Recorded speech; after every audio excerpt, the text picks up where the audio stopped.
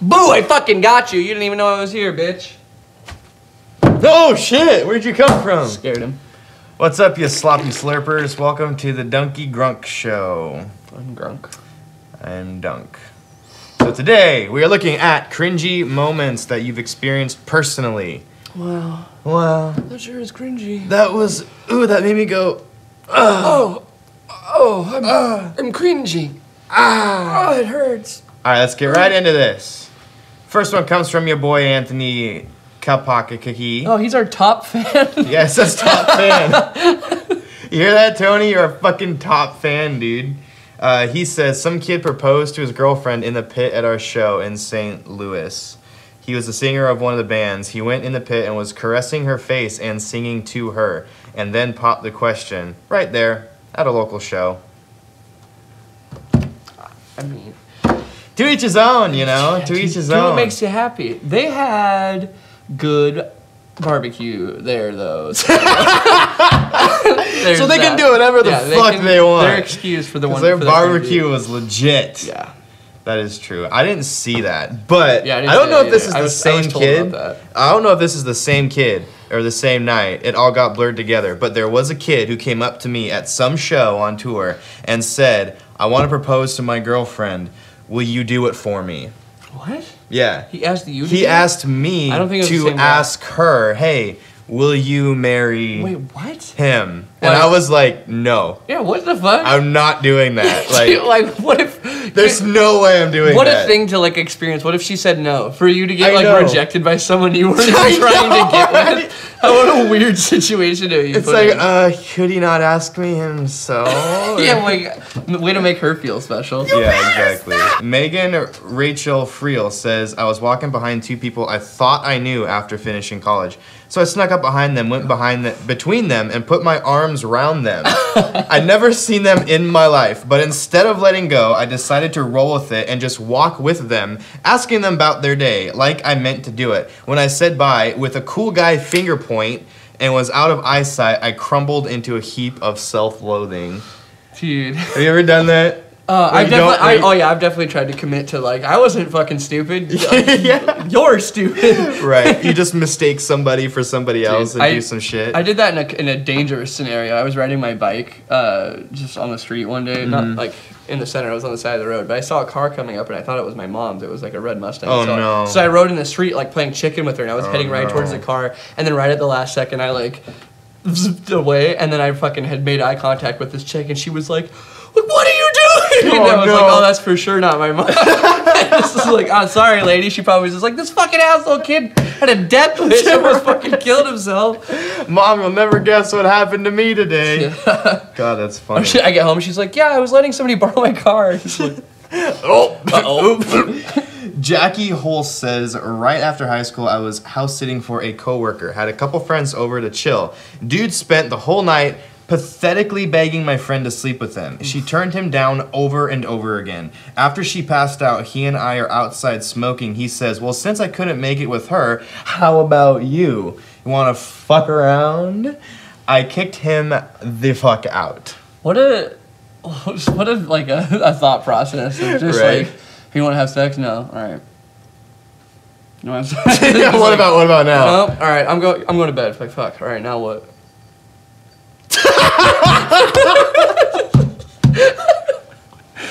Just looking around the room.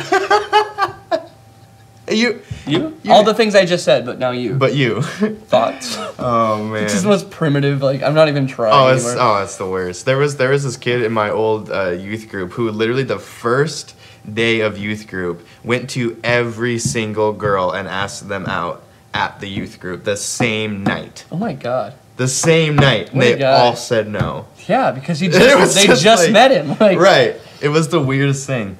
Riley Hunt Brown. In the third grade, we were forced to play kickball, and at one of the tournaments, this what a thing to be yeah, forced to do. Forced, Forced Who to play doesn't like kickball. kickball? And at one of the tournaments, this kid got up to the plate and said, "Watch this! I'm gonna do something awesome." Oh, no. He then kicked the ball, ran to first base, and proceeded to shit his pants on first base. Unfortunately, nobody noticed until it was too late. As the next kid kicked the ball, the base shitter ran to second base And when the kid got to first base, he slipped in the first kid's shit.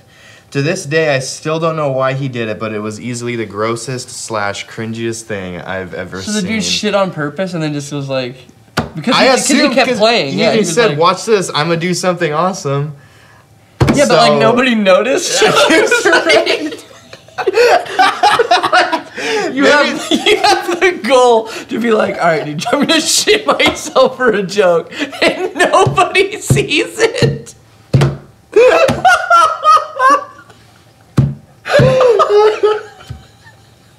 What an unfortunate moment for this kid.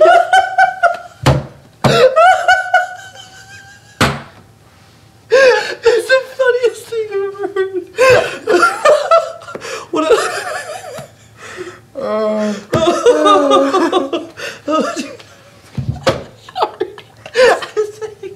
I think we broke him.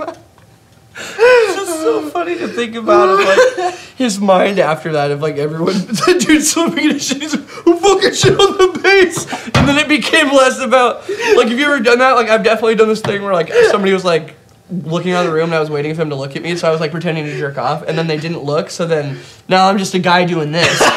Like so how long do I do it before I have to stop? So that's what this was like for this kid where he like somebody walked in and saw me stopping and so then they were just like were you just, just like pretending to jerk off? I'm like no I was doing a joke but you caught me doing it. So for this guy he's like you just shit your pants. He's like no I was trying to be funny. All right, let's move on. oh that was a good one. Oh my goodness. Will Dingman says, One night back in high school, I was at a party. I got drunk as hell, had a great time. My buddy and I were on our way out of the party, walking down the driveway. I look over to the side of the house because I thought I heard an animal rustling around beside the trash bin. Turns out it was a chick sitting on the trash bin getting eaten out by some dude. She puked all over his head. He realized this and then proceeded to eat her out anyway. Do you know what the worst part about that is? Is that it like there's no way that puke didn't get Oh yeah.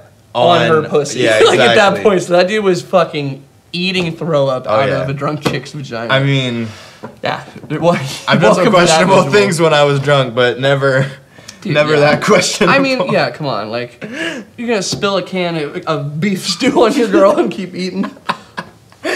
Uh, Andrew Farr. Well, one time I was at a friend's house and he had some pretty bad road rash on his leg and he peeled off the scab.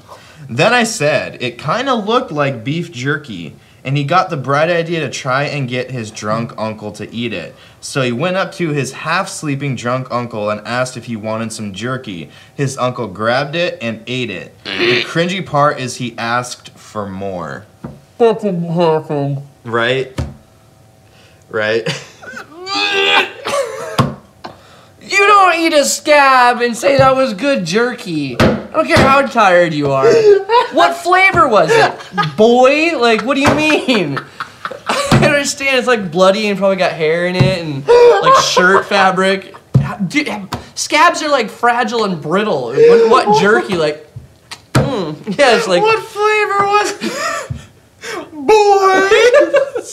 boy flavor. Oh my fucking. That's disgusting. okay, yeah, some of these are just really gross, but Fucking also just like. eater. yeah, it's physically Ah. cringy. It's not even like oh I'm cringing. It's just Yeah. like literally like exactly.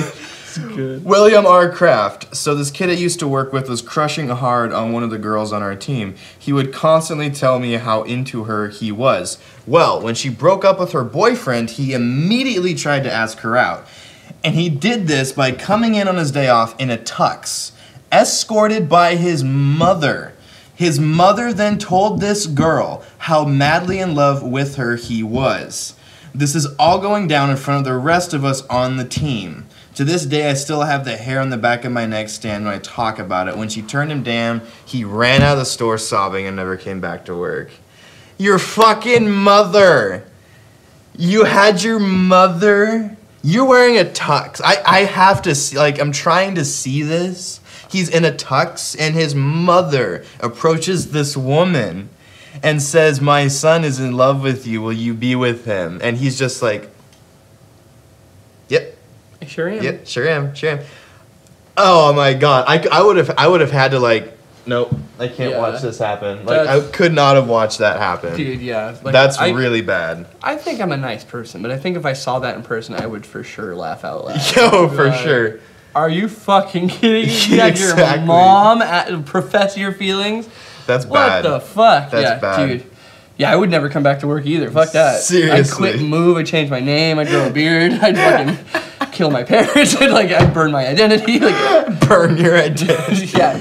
Oh man. All right. Taylor McKee. In grade nine, I dated one of my best friends. Realized a week or two in that we were better off as friends. Decided on the day I was going to end things that I would wait until the end of our lunch break so there was only one class left before we all had to go home. Pro move. 20 minutes before lunch was over, my other friend sits down next to us and says, So, have you two broken up yet?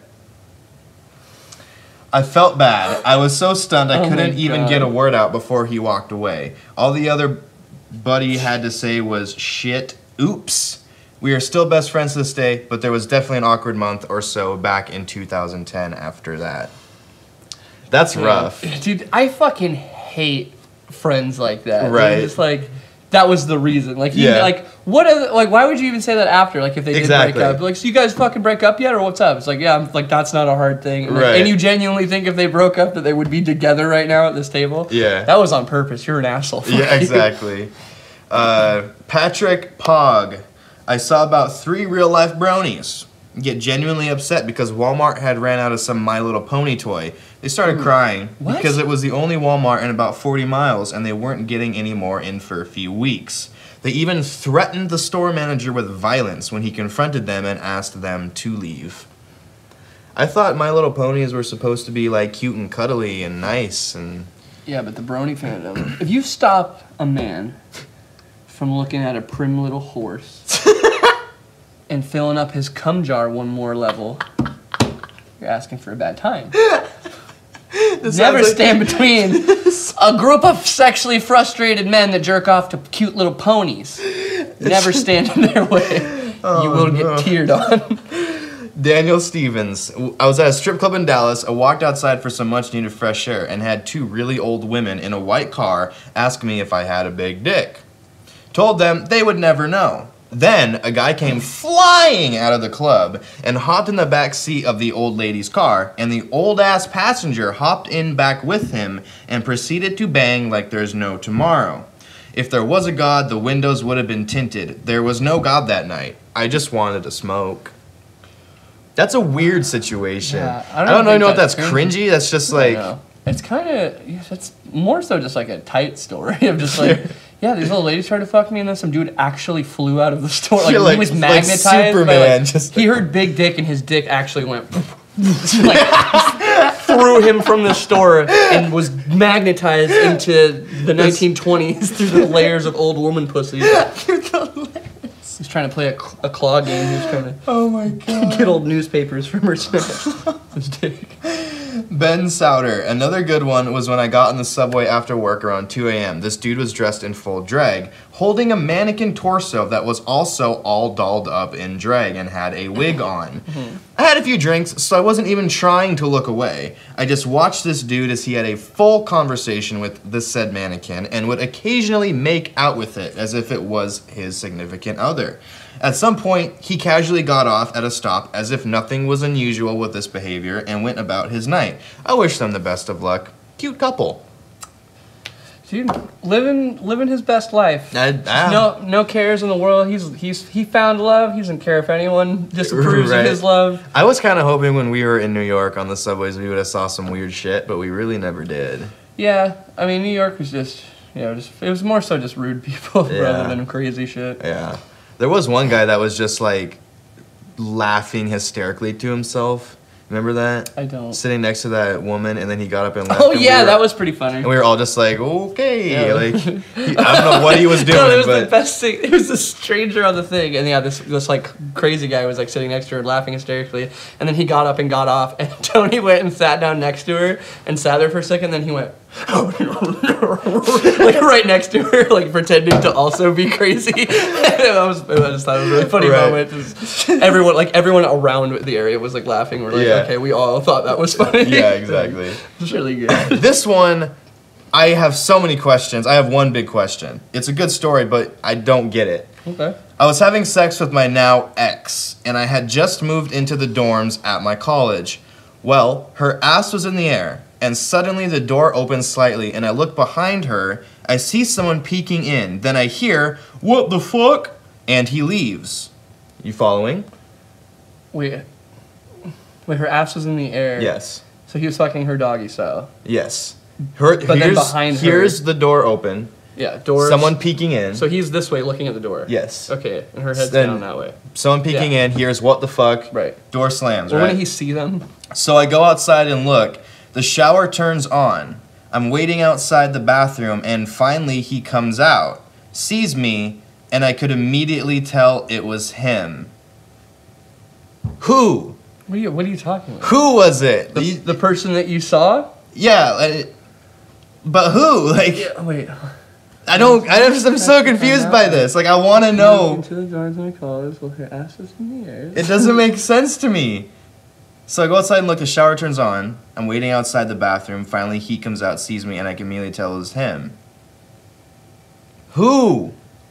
I don't get it. Like her roommate? Like what? It, Yeah, I don't. What's the reveal of I, this? no, Like, is what's exactly? is, is the reveal that you confronted the guy that you saw see you fucking, or is it that the person is supposed to be of importance? Because you left that out. If that's what you meant. I know because it's Yeah, not much Corey of a reveal. Smith. Let, let us know. Let what, us know, What are you talking know. about? Who walked in? Who's this mystery person? Exactly. We need to know the mystery Yeah, man. Don't just say their name. What relevance did they have to the scenario? Yes.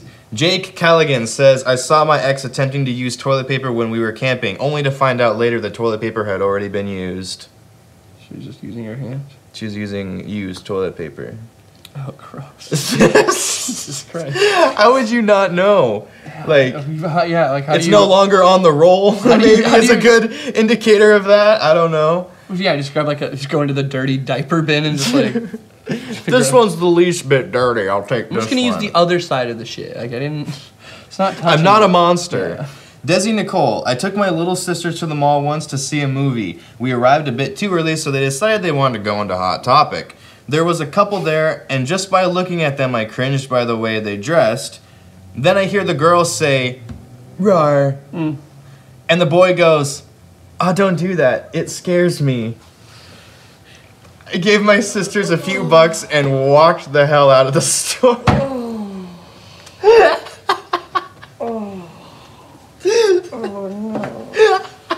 Oh, he did it. Yeah. no, you are scared. Oh, fuck.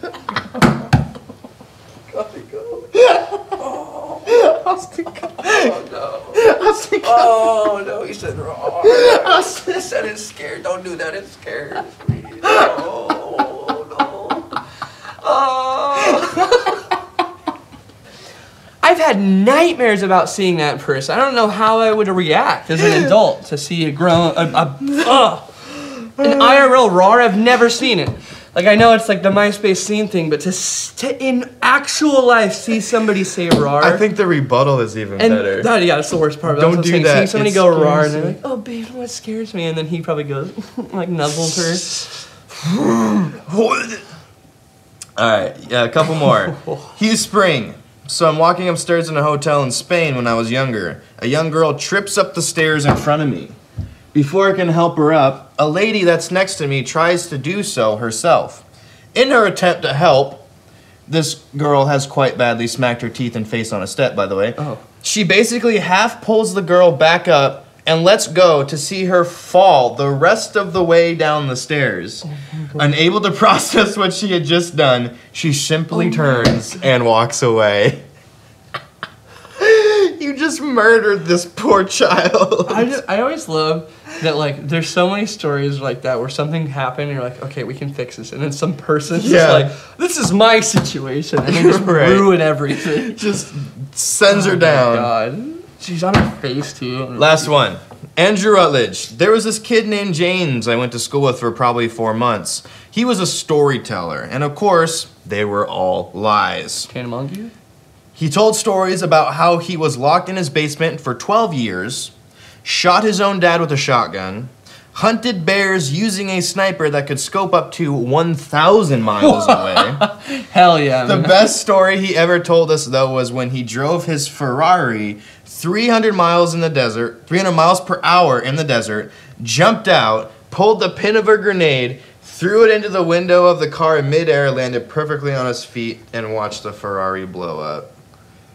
Have you ever known somebody that has just said stories that Yeah. are just so like, Mhm. who the fuck do you think you're telling these Yeah. stories to? I, yeah, there's one guy Like- specifically that I know that when I first met him, he, I was in seventh grade. That's fucking inc- yeah, that's that's extreme. But this kid was up there. He was like met him for the first time in seventh grade, and he told me that him and his dad were like secret special ops agents, and that they were only going to be there for like a month because they were doing like a job where they had to assassinate some guy that was like killing people and they knew who he was. It was like like straight out of a movie basically, and it was just like, what do you? Why you know what's really sad about that? about it? What's really sad about that is the kid probably moves from town to town all the time because either he has sketchy parents or like military or something. So he just has started fabricating stories. Dude, he- so when he does leave, people are like, Uh-huh. "Oh, I wonder if he Like, he's actually." actually in the uh, CIA. Yeah. See, that's what I initially thought, but he mo- he's he still lives here. Like, Oh, really? Since, since that story. Okay, was gotcha. Like, he may have moved from somewhere, but yeah, he like came to the school. Was like, I'm gonna just fucking create Yeah. a new identity. Right. But he's also this tiny, like he was like you know four foot something. So Yeah. it was like you're.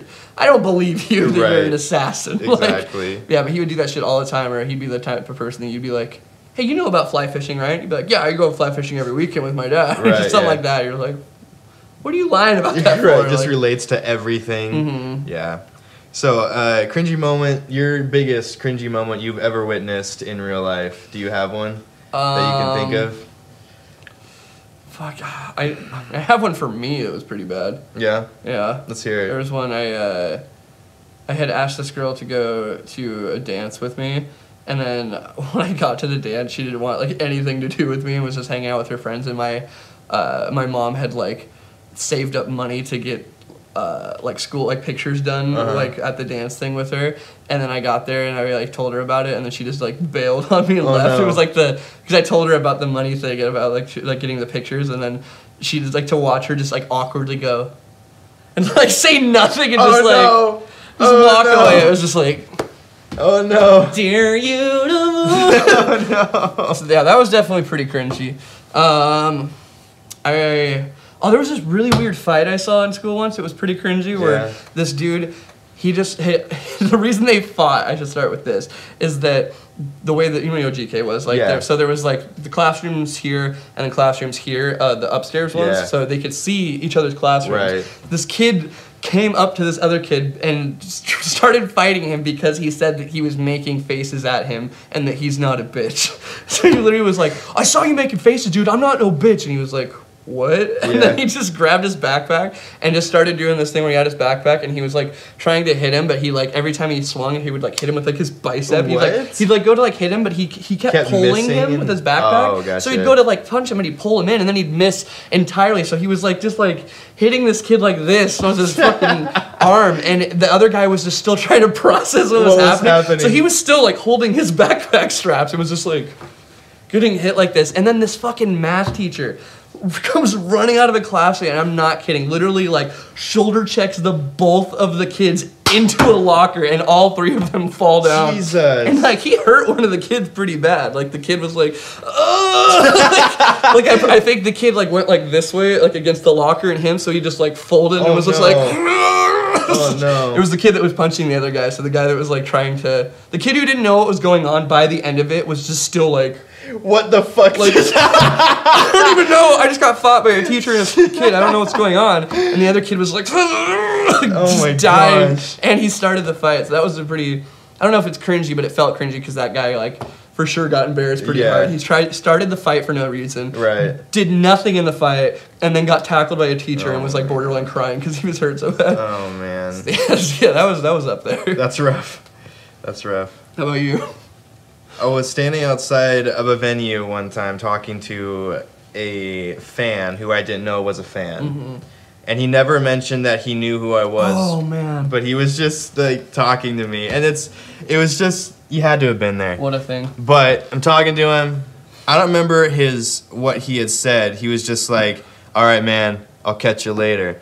never said anything about knowing me. Turns around, like right, like it, it was weird how he did it. He definitely did this on purpose. He like turns around like in my face like this, and he was wearing a snapback, and it was my butt does it gent snapback, and he turns around, pauses, walks like four feet, turns back, looks at me, and goes.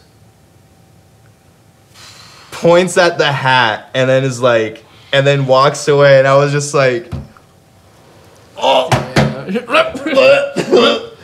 Dude, that was pretty oh, cringy. Damn, that's not even the story I thought you were gonna tell. That Which one, one? caught, caught me. Which one? I thought you were gonna tell the one with, when you went to see Post and the the dude like tricked you. Oh my god. that was pretty cringy. That was bad too. So yeah, we went to watch Post in Seattle, and I pulled up, and it's not really a place. I didn't know if it was a place you were supposed to park. There was no towing signs, but I parked there. This guy parked there too. I get out, kind of standing there. This guy comes up to me and says, "Are we allowed to park here?" I said, "I don't know. I'm probably gonna go in and find out." So he walks away. Comes. I'm still standing there. Like two minutes later, he comes back, and he says, "Hey, I'm gonna go get some food." uh, can I get your number? And like, when you find out, text me and let me know if I have to move my car so I don't get towed. And I was like, all right, innocent enough, sure. Gave him my number, went inside, parking was fine, so I never contacted him. Two days later, I'm fucking shopping like at Target or something. I get a phone call on my phone, and I'm like, what who is this? And so i don't usually answer numbers i don't know but for some reason i was like sure why not? So i answered it and i'm like hello? And he's like hey man it's james. And i was like james who? And he was like james from the uh, from the show. And i was like I, I go to a lot of shows like like i'm sorry i don't i don't know who you are. And he was like you remember uh, we parked next to each other and blah blah blah and and you, you gave me my number in case the car needed to be towed. And i was like yeah. Yeah, what do you want? Yeah, like how can I help you? And he was like, well, I didn't want to say anything, but uh, I'm actually like a huge fan, and I just wanted to talk to you and like tell you some things, and then proceeded to like tell me all the things that like I mean he was nice enough, he was like supportive of it, But the way you went about it. But the way- and then- you. he literally tricked me. He was a fan that tricked me to get my phone number to then call me and have this conversation, which he called me after that like three or four times in the in the next like two weeks. Damn. And I, I eventually just blocked his number because I was like, that's completely inappropriate. Yeah, like, And I was just like, wh- uh, it's Like you already tricked him and got the thing you wanted, and then Yeah. just kept pushing it. Like, oh, I, I did it. We're friends now. Like, It, it was so weird. yeah, that's a line so you definitely weird. shouldn't cross. With. That's Yeah, up. so I don't give my number to anybody anymore. Yeah. Because I just don't trust it anymore. I It's sad that you have to now. Like, yeah, it's it was yeah, that's definitely Yeah. a cringy move to do. yeah. Don't do that. Anyways, guys, thank you so much for watching this video. Hit the like button if you enjoyed it. Be sure to subscribe to see more videos. Check the links in the description below for our socials and shit like that. And we'll see you in the next video. We do a video, we upload you. Come back. Do. Do.